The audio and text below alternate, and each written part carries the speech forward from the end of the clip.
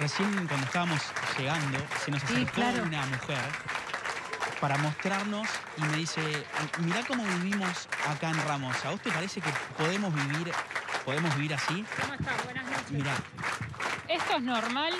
¿Ir a comprar con esto en la cartera? ¿Es normal tener la llave de la puerta marcada para no perder tiempo cuando venís tarde y que no te roben?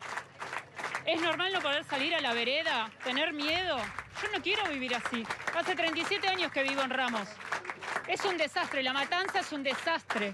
Hay una corrupción que da asco. El intendente es un inútil, un inútil, un corrupto. Todo está podrido acá. Y nadie hace nada.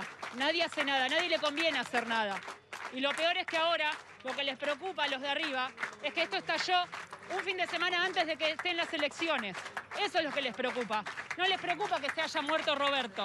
Porque hoy, fue, ayer el fin de semana fue Roberto, mañana puedo ser yo, puede ser cualquiera de los que estamos acá. Pero a nadie le importa y nadie hace nada. Lo único que les importa es llenarse los bolsillos. A nadie le importa lo que pasa en la matanza. Nadie hace nada, nadie investiga. El día que se pongan las pilas y realmente decidan investigar lo que pasa en la matanza, se va a destapar una olla. Porque acá la corrupción abunda, da asco. Asco, desde el de arriba hasta el último. Todos son corruptos. Se roban la plata y nadie hace nada. Y acá la gente se está muriendo. Esto no da para más. Esto no da para más. Espinosa, si te queda un gramo de dignidad, renuncia. Renuncia.